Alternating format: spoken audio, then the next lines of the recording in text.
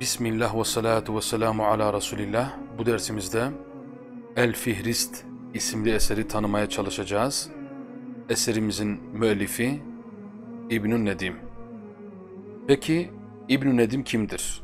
Hayatı hakkında kısa bir bilgi vermeye çalışalım. Hayatına dair yeterli bilgi yoktur. Bağdat'ta yaşadığı ve orada öldüğü biliniyorsa da doğum tarihi kesin olarak belli değildir harici fukahasından olan dostu Berdai'den söz ederken onu 340'ta gördüğünü ve kitaplarının listesini aldığını belirtir. Anılan tarihte bu alimle tanışıp dostluk kuracak kadar olgun bir yaşta olduğuna göre 320 yılı civarında doğduğu söylenebilir. Ailesi hakkında bilgi bulunmadığı gibi İbn Nedim künyasını alış sebebi de tartışmalıdır.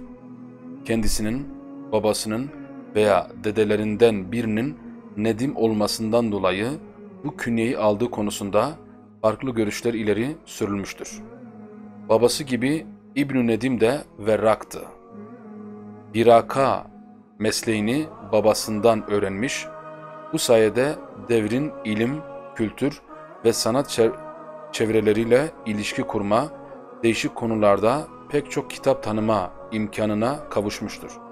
Yani viraka demek, kitap istinsah edip ciltlemek, kitap ticareti yapmak manasına gelmekte. El-Fihriste çeşitli dinler, mezhepler, ilimler ve sanatlar hakkında bilgi verirken, bu alanlarda yazılmış eserleri ve bunların muhtevalarını tanıtırken, adeta her alanın uzmanı gibi sağlam bilgiler aktarmasından çok yönlü ve esaslı bir tahsil gördüğü belli olmakta.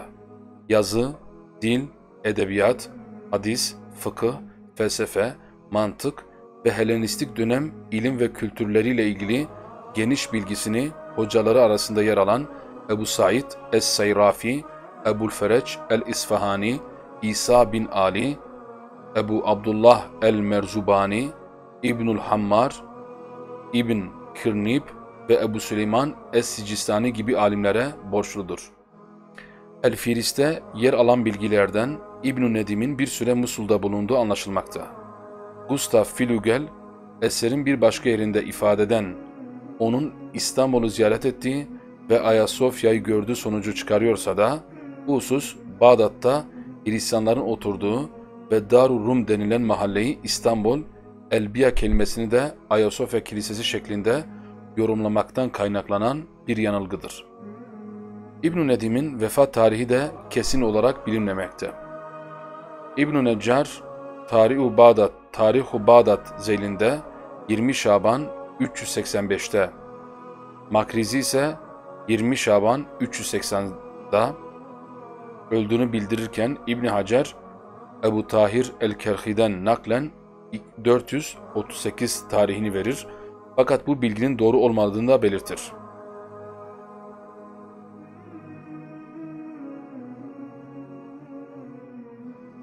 İbn Hacer Tahir el-Kerhi'den naklen 438 tarihini verir dediğimiz gibi fakat bu bilginin doğru olmadığını belirtir. Neden? İbn Hacer'e göre bu tarihe kadar yaşamış, yaşamış olsaydı aynı dönemde yetişen İbn Sina, İhvan-ı Safa, Biruni gibi filozof ve bilginlere eserinde yer vermesi gerekirdi. Sonuç olarak İbn Hacer onun 388'de vefat ettiği kanaatine varır. Ancak İbn-i Nedim'in ölüm tarihiyle ilgili yukarıda rivayetlerden ilkini tercih etmek daha isabetli görünmekte.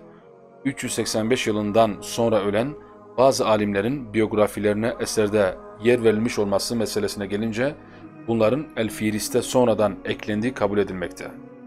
Nitekim müellifin kendisi eserinde görülebilecek bazı eksikliklerin sonradan okuyucular tarafından tamamlamasını istemiştir. İbn Nedim'in bazı sünni alimlerden söz ederken haşfiyedendir ifadesini kullanması, Ebul Hasan Eş'ari'yi Cebriye'den sayması, hoca ve dostları arasında İsmaili ve Mutezillerin bulunması gibi hususlar sebep gösterilerek onun Şii Mutezili olduğu kabul edilmekte. Ancak haşfiyedendir şeklindeki iddiası İbn Küllab gibi nadir kişilerle ilgili olup bütün sünni ulemayı aynı kategoride saydığı anlamına gelmez. Eş'ariye Cebriye başlığı altında yer vermesi de İbn Nedim'in Şii olduğunu göstermeye yetmez. Esasen müellif bu başlık altında daha çok Eş'ari'nin Mutezile'den ayrılışını halkın huzurunda nasıl açıkladığı konusu üzerinde durur. Bununla birlikte onun ılımlı bir Şii sayıldığını ortaya koyan daha güçlü deliller bulunmakta, ilim ve kültür çevresini oluşturan kimseler de genellikle Mutezile kelamcıları ile Farabi okulundan yetişen mantıkçılardı. İbn Nedim'in 377 yılında kaleme aldığı Fihristül Kütüb, Fihristül Ulum ve Fihristül Ulema adlarıyla bilinen fakat kısaca El Fihrist diye tanınan kitabı İslam dünyasında bibliografik eserler türünün ilkidir. Zamanla kaybolmuş pek çok eserin adı, konusu ve müellifi hakkında bilgiler sadece bu eser sayesinde günümüze ulaşabilmiştir.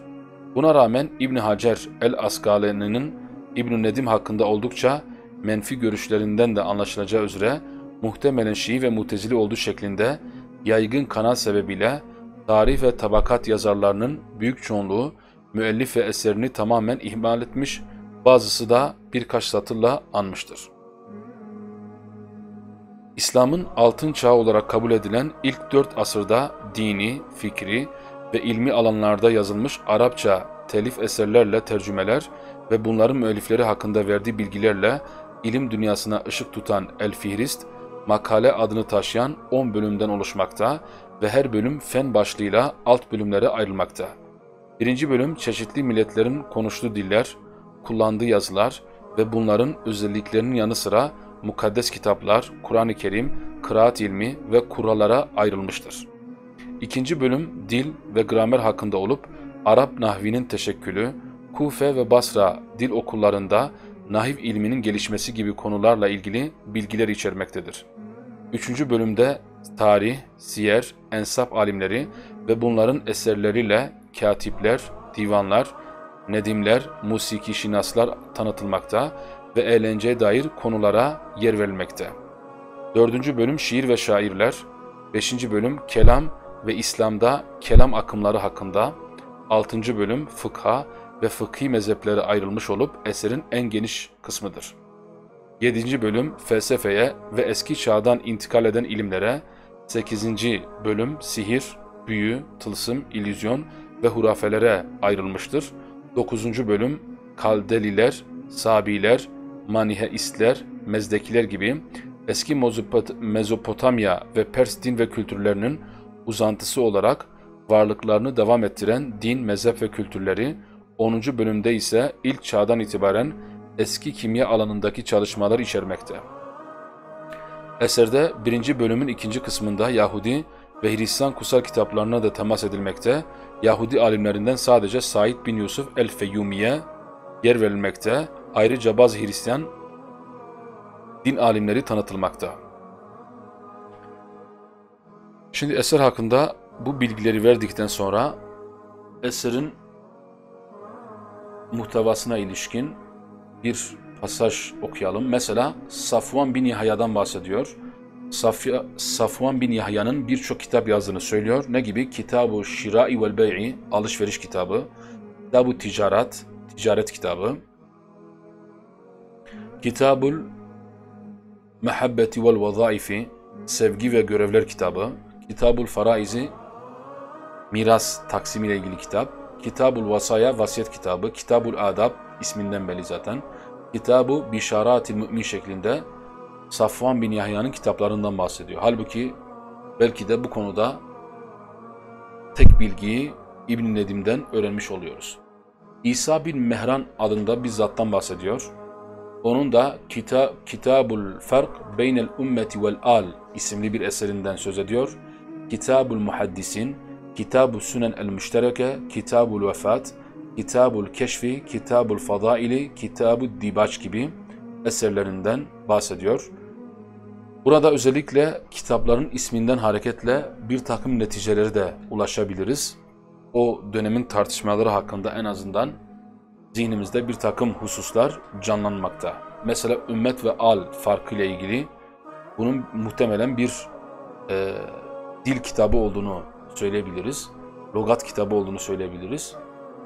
Yine Kitabul Muhaddisin, Kitab Sunan el Müştereke, Vefat kitabı, Keşif kitabı. Demek ki o dönemde keşiften bayağı söz edilmiş. Az sonra diğer eserlerde de belki bunu görebiliriz. Hasan bin Muhammed adında bir zat-ı muhterem var burada. İbn-i Sema'a diyorlar aynı zamanda ona. Kitapları var. Kıble kitabı, namaz kitabı, siyam, oruç kitabı gibi eserler telif etmiş. Yine İbn Bilal Kitab-ı Rüşd vel Beyanı yazmış.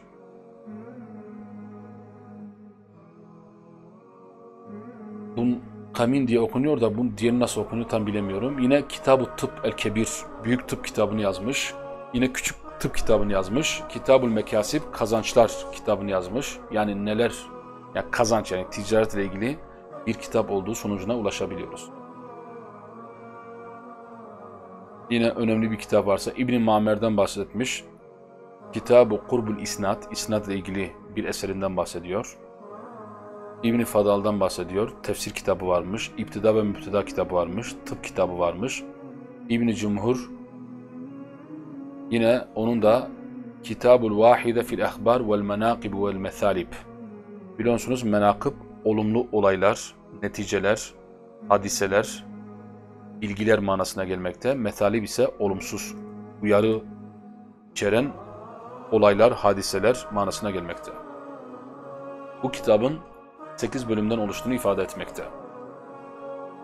Söz gelimi Muhammed bin İsa'dan bahsederken bunun İbn Abid bin Yaktin min ehli Bağdat, Bağdatlı olduğunu söylemekte. Ee, Ali bin Muhammed'in ashabından olduğunu söylemekte. Yine onun Emel ve Reca adında bir kitabı olduğunu ifade etmekte. İsmail bin Mehran, Melahim isimli eseri varmış. Ebu Cafer, Kitabul Cami fil Fıkhi, Kitabu Tefsir Kur'an, fıkıh ve Kur'an-ı Kerim tefsiri hakkında ayrı ayrı iki eser yazdığını ifade etmekte. Yine Ebu Kasım'ın Kitabul Kadaya vel Ahkam, Olaylar ve Hükümler isimli bir kitabından söz etmekte. Sakafi'den bahsediyor. Musa bin Sa'dan, Ebu Cafer, yine Şii ile ilgili, İmamiye Şiisi ile ilgili bir kitap yazdığını söylüyor. Genellikle bunlar Şii alimlerden teşekkil. Yine mesela Ashab-ı Hadis'ten bahsediyor. Süfyan Sevri'nin bir takım olaylarından söz ediyor. Ebu Abdurrahman, Abdurrahman'dan bahsediyor. Bu şahsın Kitab-ı Nasih vel Mensuh yani Nasih ve Mensuh ile ilgili olarak kitap yazdığını ifade ediyor. Yine başka bir Abdurrahman var. Bu İbn Ebi Zinat olan Abdurrahman. Faraiz isimli kitap varmış. Abdülmelik'ten bahsediyor. Bunun da Magazi isimli eseri var. Yine başka bir Abdülmelik, bu başka birisi. Sünen eseri varmış. Bu sünende taharet, siyam yani temizlik, oruç, namaz, zekat gibi konular ihtiva etmekte. Süfyan bin Uyeyne'den bahsediyor. وَكَانَ فَقِيهًا مُجَوِّدًا Çok sağlam bir fakih olduğunu söylüyor. وَلَا كِتَابٌ لَهُ يُعْرَفْ Bilinen bir kitabı yok. وَاِنَّمَا كَانَ يُسْمَعُ مِنْهُ لَهُ تَفْسِيرٌ مَعْرُوفٌ Ondan işitilen, duyulan belli bir meşhur bir tefsir var. Yani normal bize ulaşan bir eser yok ama bir tefsirinden söz ediliyor. Muhammed'den bahsediyor. Bu Muhammed de İbnül Fudayl bin Gazvan ad-Dabbi olanmış. Hayatı hakkında ve vefat tarihi hakkında kısa bir bilgi veriyor. Bunun da kitapları varmış. Taharet yani temizlik kitabı, namaz kitabı, hac kitabı, zekat kitabı yani genellikle fıkıh ilmiyle uğraştığını burada anlıyoruz. Aynı zamanda hadisle, tefsirle, tasavvufla uğraştığını bilmekteyiz kitaplarından hareketle. Yahya'dan bahsediyor. İbn Zekeriya bin Zayde imiş bunun ismi. Buna Ebu Said künyesi verilmiş. Medain'deyken, Medain bir şehrin ismi biliyorsunuz. Yargıç yani kadı olarak ölmüş orada iken. Hicri ne zaman? Hicri senete 38 183. Sünen isimli eseri varmış. Veki bin Cerrah meşhur bir alim bu. Haçtan dönerken vefat ettiğini söylüyor. Ebu Naim yine Menasik isimli eseri varmış. Hacla ilgili bir eser bu. Fıkıhla ilgili bir eseri varmış. Yahya İbn İbn Ebu Ebi Arube Sünen isimli eseri varmış. Hammad bin Seleme Sünen İsmail İbrahim Ravhun Kitab-ı Süneni varmış. Mekhul El Mesail fil Fıkıh El Evza'i Evet. Kitab-ı Süneni varmış. Bir de Mesaili varmış. Velid bin Müslim, Abdurrazzak, Hüşeym. Sadece kitapların ismine bakalım şöyle. Dikkatimizi çeken bir şey varsa. Bakınız genellikle ibadet kitapları. Çünkü fukaha, muhaddisin demiştik ya. Namaz, kıraat, tefsir, Nasih Mensul ile ilgili eser yazmış. Menakıb isimli eseri varmış. Kitabul İden iki bayram yani Ramazan ve Kurban bayramlarından bahsetmiş. Abdullah bin Mübarek zaten meşhur birisi.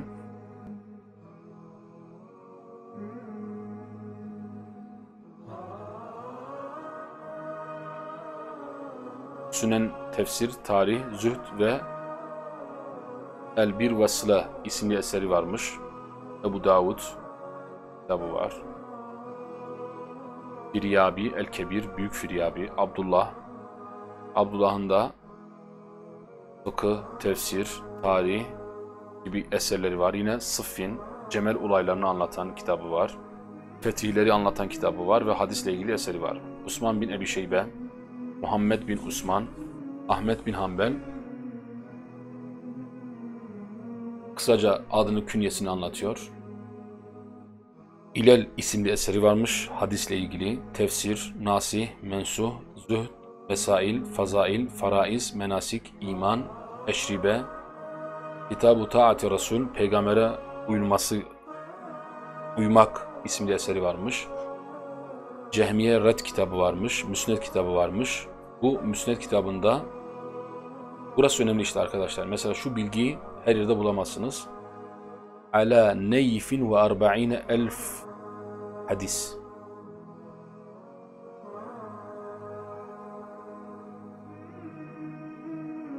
Yani 40 bin küsür hadisten bahsediliyor. Peki şu anda elimizde bulunan nüshalarda bu sayı kaç? Bu sayı 40 bin civarında olmadı kesin. Çünkü en son baktığımız zaman yapılan tahkiklere baktığımızda bu sayının 27 bin ya da 30 bin civarında olduğunu söyleyebiliriz. Tabi hadislerde biliyorsunuz tarih değiştiği zaman numaralandırma da değişeceğinden dolayı belki de 10 bin fark oradan kaynaklanabiliyor. Ethrem diye birisi var. Tarih, İlel, Nasi Mensu kitabı var. Yine İshak bin Rayuveh. Onun da fıkıh, tefsir hakkında kitapları var. Ebu Hayseme, Kitabul İlmi var. İbn Ebi Hayseme var. Tarih, İrab ve şairlerle ilgili kitabı var. Sadece kitapları okuyacağım. Bakınız tarih kitabı. Tarih, yine tarih. Sünen. Kitabu Halqi Ef'alil İbad. Bu meşhur bir kelam konusu aynı zamanda. Kıraatle ilgili bir kitap. El-Kira'a halfel imam. İmamın arkasında herhangi bir şeyin okunup okunmaması. Yani özellikle Fatiha ve Zamm-ı Sure'den bahsediyor. Demek ki o günden bugüne tartışma konusu olmuş bu. İhtilaf var diyebiliriz. Yine Müslim bin Haccac'ın Sahih var. Esma ve Künası var. Evhadı var. Kitab-ı Müfredi var değil mi? Tabakatı var. Ali bin el-Medini bunlar meşhur hadisler. Yahya bin Ma'in aynı zamanda ehli sünnetin büyük alimleri bunlar. Duafası varmış. İllet, Esma, Küna, Eşribe, Kitab-ı Tenzili var. Yahya bin Ma'in tarihi vardır. kendisi bu kitabı yazmamış, talebeleri onun adına bu kitabı yazmışlar. Süreyş diye bir alim var. Hafs Ed-Darir Ahkamul Kur'an'ı vardır. Yine Sünen isimli eseri varmış. Fadl bin Şad- Şadan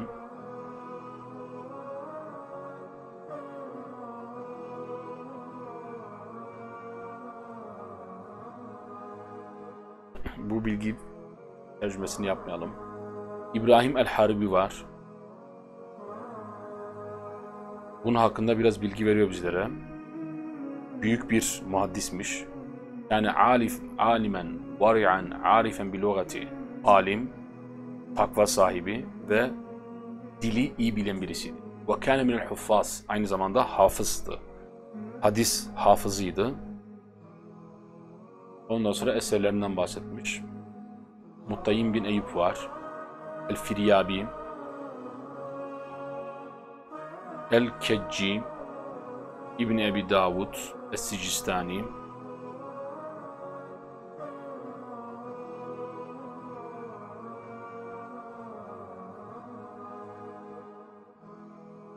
Bu bizim bildiğimiz Ebu Davud. El-Mahamili var. Cafer el-Dakkak, İbn Said, El-Bagavi.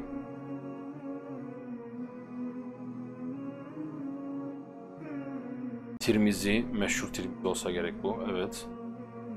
İbn Ebi Selç var. Adapla ilgili eseri var. Sahabenin faziletiyle ilgili eseri var. Yine senetle ilgili bir eseri var. Kitap ya- yazanlardan bahsediyor. Ve yazdıkları eserler. Taberi ve öğrencileri ya da dostları, arkadaşları diyelim biz ona. Tabi Taberi, İbn Cebir Er-Taberi büyük bir alim. Alametu allametu vaktihi diyor. Yani zamanındaki en büyük alimlerden bir tanesi. Ve imamu asrihi ve fakihu zamanihi. Bunlar büyük övgüler.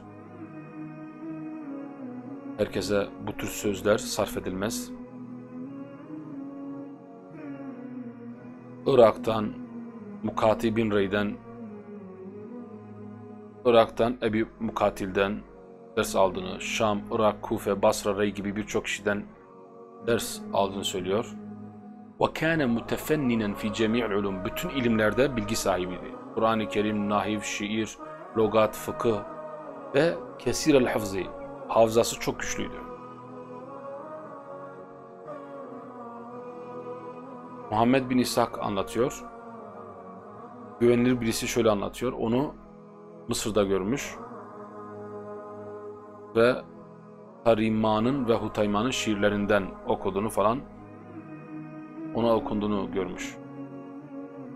وَرَأَيْتُهُ أَنَا بِخَطِّهِ شَيْئًا كَثِيرًا مِنْ كُتُبِ اللُّغَةِ وَالنَّحْوِ وَالشِّعْرِ وَالْقَبَائِلِ Bizatihi kendi elle yazdığı dil, nahiv, şiir, kabileler ile ilgili eserlerini okudum diyor, gördüm diyor. وَلَهُ مَذْهَبٌ فِي الْفَقِهِ اِخْتَارَهُ لِنَفْسِهِ Yani bizatihi müstakil bir müştehitti yani. Ceririye mezhebi zaten meşhur mezheplerden bir tanesi ama günümüze ulaşmamış maalesef. Eserleri bunlar.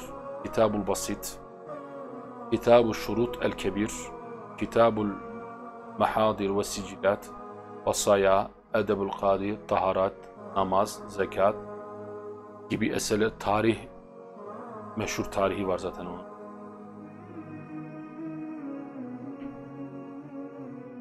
Müsterşit, Tehzibul Asar gibi eserleri var. Onun mezhebinden gidenler de bunlar yani. Onun yolundan gidenler ya da müttesipleri, arkadaşları, öğrencileri diyebiliriz buna. Bakınız bayağı ciddi bir isim var burada. El-Muafa En-Nehruvani El-Kadi. Bu da büyük alimlerden bir tanesi. Nehrevan.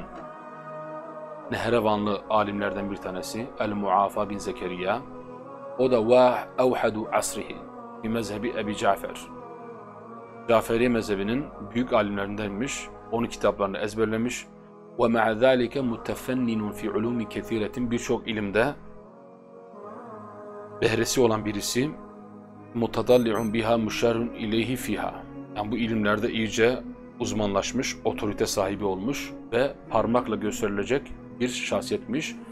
Bir nihayeti zekai zekanın tam zirve noktasında ve husnul hafzı iyi ezber yapması ve sür'atul hatiri fil ce- cevabat hızlı cevap vermesi bütün bu konularda büyük bir alim.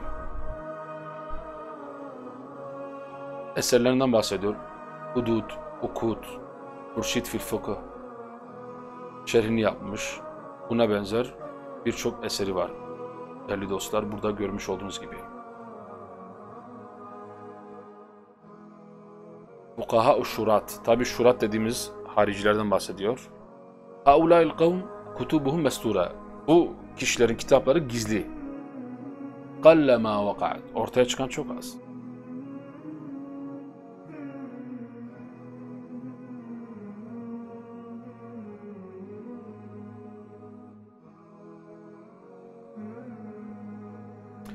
Fıkıh ve kelime ilgili eserler yazmışlar. Yerlerini söylüyor, nerede yazdıkla, yaşadıklarını söylüyor. Cübeyr bin Galip'miş bunlardan bir tanesi. Kitaplarından bahsediyor. El Kartalusi varmış bir tanesi. Farais kitabı varmış. Kitab-ı Rad ala Ebi Hanife fir Ra'i. Bakınız Ebu Hanife'yi reddedecek kadar Veyahut da Kitab-ı Rad ale Şafii fil Kıyas. Kıyas konusunda İmam Şafii eleştirmiş. El Kartalusi. Rey konusunda yani İmam Ebu Hanife'nin biliyorsunuz ashab-ı rey var, ashab-ı rivayet var. Dolayısıyla rivayetten ziyade dirayet sahibi Ebu Hanife ve bundan dolayı onu eleştirmiş. El-Kartulusi. İmam Şafii kıyas konusunda eleştirmiş aynı zamanda. Yine onlardan bazılarını saymış, isimlerini burada. Kitaplarına yer vermiş. Kitab-ı Rad ala men kâle bil mut'a, muta nikahını kabul edenlere reddi yazmış yazarımız. Nakisinle ilgili eser yazmış, Eyman ve Nuzur'la ilgili eser yazmış. Yani yeminler ve adaklar manasında. Ebul Kasım el-Hadisi var. Ra'aytu onu gördüm diyor müellifimiz. Ve kâne zâhiden zâhirel huşu'i gayre muzhirin li. Çok iyi bir adamdı diyor. Zahit birisiydi. Huşu sahibiydi. Mezhebi için çalışmazdı. Min ekâbir şurat ve fukahaihim. Haricilerin en büyük alimlerinden ve fakihlerinden biriydi. Burada şurat, şarin şurat yani satan demek. Yani kendini Allah'a satan manasına gelmekte. Fıkıh ile ilgili eseri var. Kitabul Cami' fil Fıkhi yine Kitabu Ahkamillahi Azze ve Cel, Kitabul İmame, Kitabul Va'd vel Va'id, Kitabul Tahrimi ve Tahlil, Kitabu Tahkim fillahi Celle ismuhu. Yani bütün bu kitaplar hepsi dikkat ederseniz Allah'tan, imametten, helal ve haram yetkisinden bahsediyor, hükümden bahsediyor. Yine eserlerle ilgili bilgiler vermiş bize. Filozoflardan bahsediyor.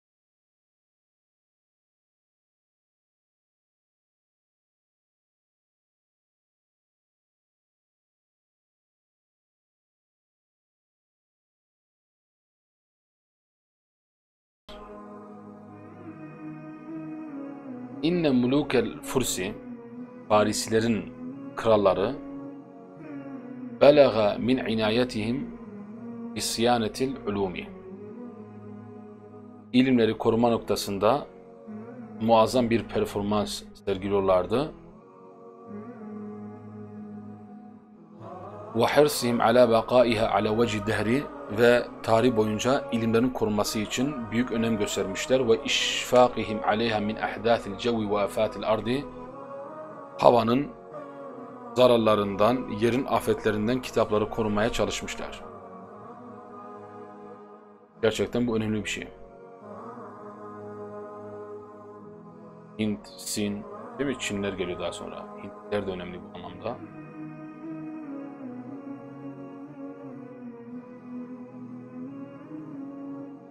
Yine hikayelerden bahsediyor burada. Yaşanmış olan bir takım olaylardan söz ediyor müellifimiz. Bunlar da önemli olaylar tabi haliyle. Baktığımız zaman şöyle yapalım. Biraz daha de gösterelim. Evet yine şahıslara geçmiş. Yahya bin Adi diye bir adam varmış. Farabi'den ders aldığını söylüyor.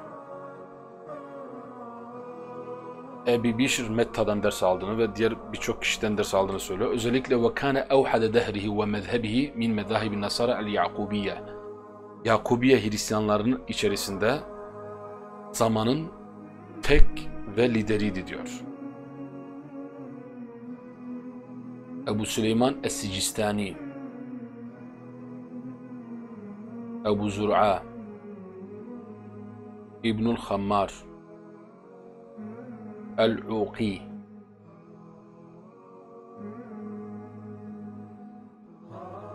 Daha sonra eski Yunan alimlerinden Üklit'ten bahsediyor mesela bakın. Üklit'in hayatını anlatıyor. Arşiment, Arşiment'ten bahsediyor. Ebiskalus'tan bahsediyor. Bunlar da eski Hermes'ten bahsediyor.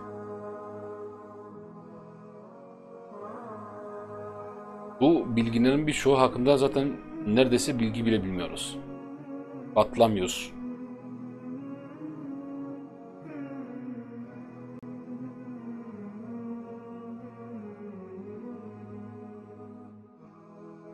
Tabi bunların isimlerinin okunuşu da çok zor gerçekten. Felis Arumi, Fyodors, belki de Fyodors şeklinde okunuyordu. Bibis Romi, Aaron artık nasıl okunuyor? Kısacası onlardan da söz ediyor. Biraz daha aşağı doğru indiğimizde diğer alimlerden uzun bir şekilde bahsedildiğini görmekteyiz. Burada önemli bir bilgi var. Ama kimden bahsettiğini bilmek için biraz ön sayfalara doğru gelmemiz gerekiyor ama durum ne olursa olsun çok ilginç bir kavimden bahsediyor. Demelen Brahmanistlerden bahsediyor.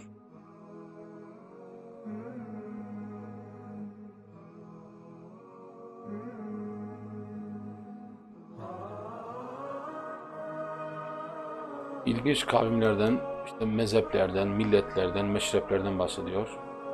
Mani ehistlerden bahsediyor bakınız. Mani'den bahsediyor. Bakınız Mani hakkında önemli bilgileri burada bulabilirsiniz. Yani bu tür eserler güzel eserler. Okunması, değerlendirilmesi gereken önemli eserler. Yine Mani'den bahsediyor. Mani ehistlerin tapma biçimlerinden, yemelerine, içmelerine kadar her şeyden söz ediyor.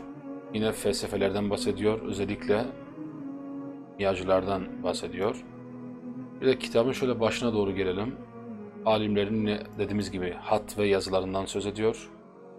Böylelikle dersimizi bitiriyoruz. Velhamdülillah Rabbil Alemin. Cenab-ı Hak bu kitaplardan müstefit olmayı bizlere nasip eylesin. Elhamdülillah Rabbil